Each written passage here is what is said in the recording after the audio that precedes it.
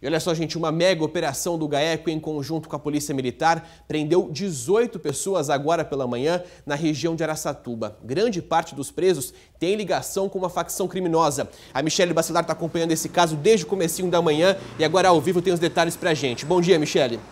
Bom dia, Casagrande. Bom dia para você que está assistindo ao SBT Interior. Isso mesmo, Casagrande. Essa operação do GAECO, em conjunto com a Polícia Militar, começou em maio e foi encerrada agora há pouco com a prisão de 18 pessoas. Os policiais saíram por volta das 4 horas da manhã e só hoje cumpriram 37 mandados de busca, apreensão e prisão em Valparaíso, Bento de Abreu e Araçatuba. No total, desde o início da operação, 31 pessoas foram detidas. Todas elas têm relação com tráfico de drogas, associação ao tráfico, roubo e formação de quadrilha. A maioria dos presos faz parte do PCC, o primeiro comando da capital. E quem vai dar um pouco dos detalhes para a gente é o Marcelo Sorrentino Neira, que é o promotor de justiça do GAECO. Acompanhe a entrevista. Investigação que nós iniciamos em maio na comarca de Valparaíso, nós identificamos a atuação lá de membros do PCC, uh, que estavam praticando tráfico e roubo, principalmente. Uh, esses membros do PCC tinham ligação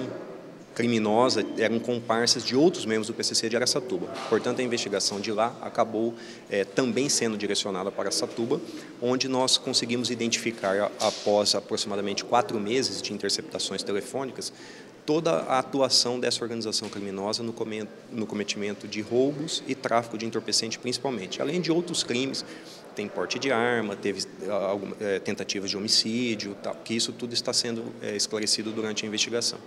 É, várias pessoas foram presas, drogas apreendidas, armas apreendidas no decorrer da investigação e hoje foi, digamos, o fechamento da operação com o cumprimento dos mandados de prisão temporária de quem não havia sido obviamente preso durante a investigação, e dos mandados de busca domiciliares nas residências dessas pessoas é, que são é, ou diretamente investigadas na operação, ou pessoas ligadas a elas, mas que guardavam droga, que guardavam armas na casa, como aconteceu hoje que nós pegamos é, droga na casa de outras pessoas que não eram investigadas, mas que a gente sabia que aquele investigado guardava, guardava droga em outro local.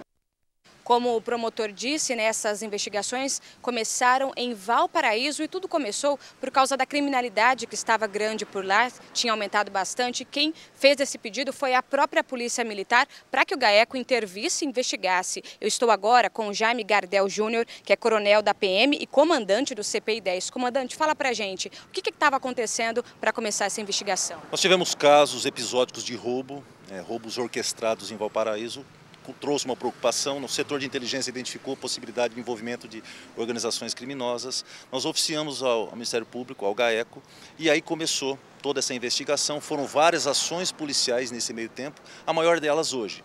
Então, no total, são 31 pessoas presas. Boa parte envolvida com crime organizado, com a chamada organização que atua nos presídios, o PCC. São vários crimes que eles praticaram, vários foram evitados, inclusive, também.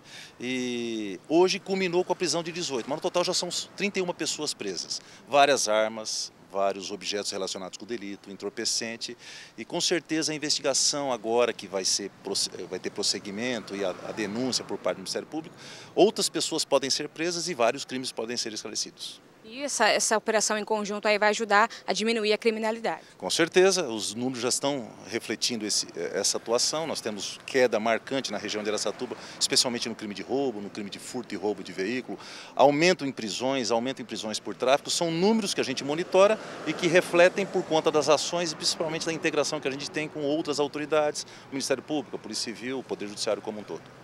Ok, obrigada pela participação, comandante. Olha só, essas pessoas vão ser acusadas por formação de quadrilha e corrupção de menores, já que grande parte da venda de entorpecentes aqui na região era feita por menores. Casagrande, todos eles já foram levados para as cadeias da região.